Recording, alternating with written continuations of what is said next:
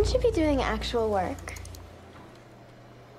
I was hoping I'd catch you before I left. Is everything okay? Yeah, um... You know, we have that big test coming up next week. Would you like to study together? Yeah, well, when were you thinking? Um, are you busy tomorrow after school? Tomorrow's perfect. Okay, uh, can we meet at my table? Absolutely. Tyler, do you have any plans tonight?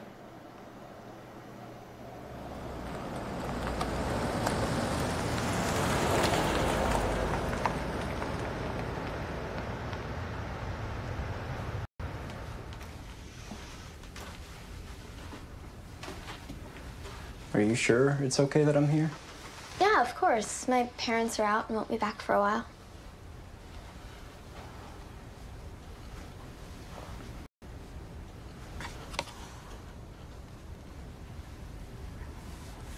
Don't be so distant.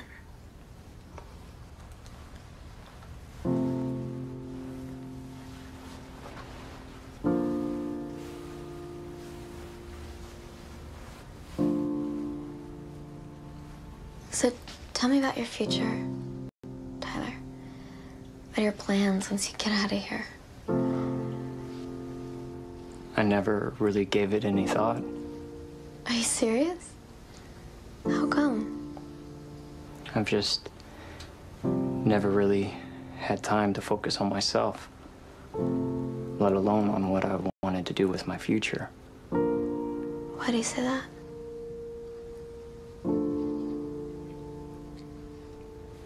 I've had to take care of my mom all these years, make sure she stayed on track after my dad left. I'm afraid if I leave her, she won't make it. I just wish she would accept the responsibilities for herself because I can't always be there. I won't always be there.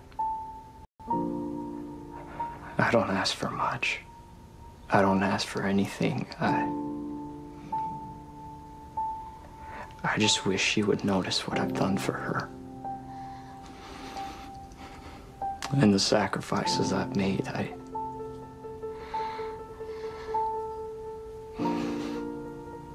I just want to be seen for once in my life.